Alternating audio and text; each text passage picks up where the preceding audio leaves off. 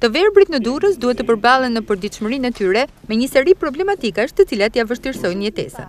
Një përfaqësi i shoqatës Shpresë për të verbërit, e krijuar kohët e fundit, ka zhvilluar një takim me prefektin e qarkut, Roland Nasto.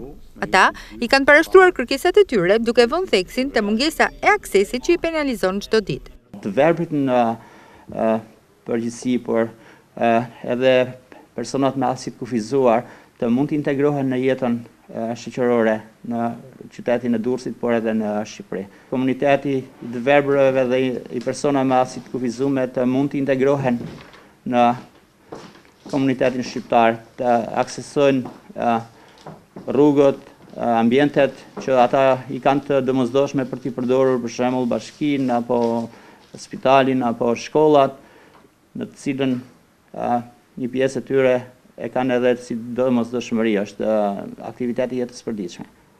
Vetëm në bashkinë Durrës numërohen rreth 900 persona që i përkasin kësaj kategorie, 600 prej tyre brenda në qytet. Prefekti i Durrësit Roland Nasto në fjalën e tij nënvizoi se do t'i adresojë kërkesat e tyre në institucionet vendore në mënyrë që të nisë bashkëpunimi për zgjidhjen e këtyre kërkesave.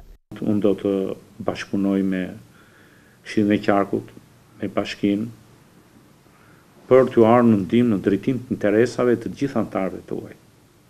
Në mënyrë të veçantë, do të jetë mbrojtja e drejtave të juaja dhe kjo do të jetë në mënyrë të organizuar brenda Shoqatës dhe të jetë publike.